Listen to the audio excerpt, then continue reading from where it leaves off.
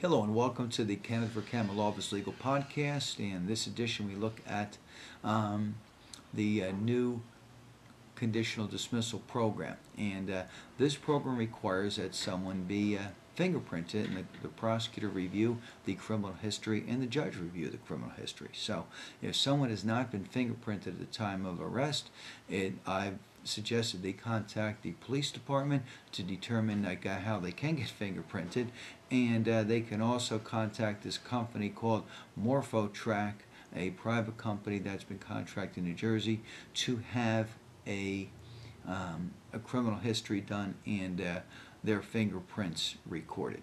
Uh, the and for so New Jersey has a new program. If someone has never been in trouble before, they can get a conditional dismissal. However, it does require they plead guilty and they pay certain fines. But the court can't entertain it unless they've uh, ascertained the person doesn't have any prior. So by um, having the, making sure the fingerprinting was done, this will help the prosecutor, help the court, and move your case along and avoid unnecessary delays.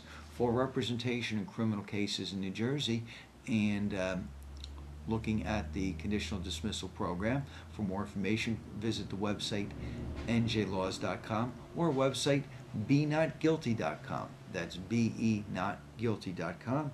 And for representation, call the Law Office of Kenneth Vercammen at 732 572 0500. Thank you.